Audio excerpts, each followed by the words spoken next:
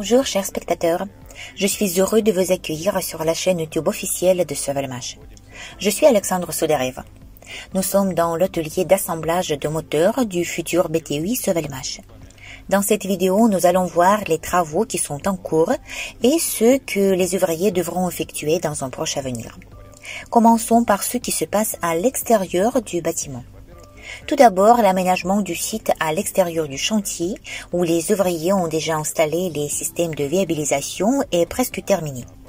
Les bordures en pierre ont déjà été restaurées, le revêtement pour la pelouse est également mis à jour et il ne restera plus qu'à brancher les systèmes de viabilisation à notre bâtiment Sovelmash, ce qui sera bientôt effectué. Les travaux de terrassement se poursuivent sur le site. À droite du bâtiment, l'installation de cuvettes pour les tuyaux du système de chauffage du bâtiment se poursuit. Dans la partie centrale du bâtiment, tous les systèmes de viabilisation nécessaires sont refermés et dans un proche avenir, nous allons remblayer avec de la terre toutes les tranchées qui ont été excavées. Cela nous permettra également de connecter le réseau d'alimentation en eau chaude à notre bâtiment.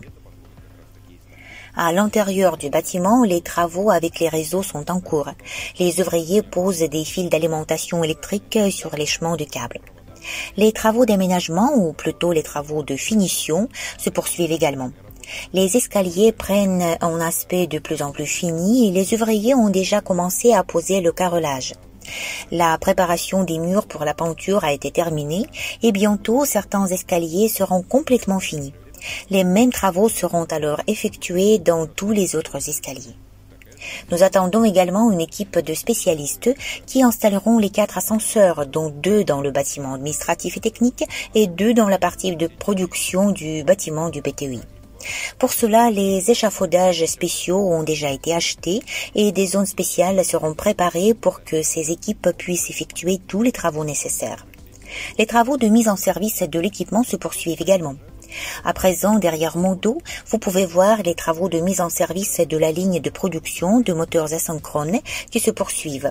Il s'agit de la chaîne de fabrication des moteurs pilotes pour des dimensions allant de 90 à 132. En terminant cette vidéo, je voudrais dire qu'il y a vraiment beaucoup de travaux qui sont en cours. En fait, cette phrase est déjà devenue traditionnelle pour nous.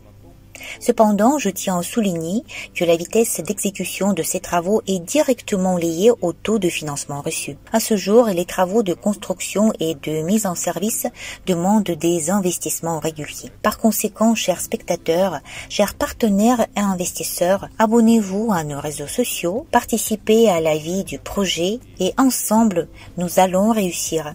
Merci et à bientôt.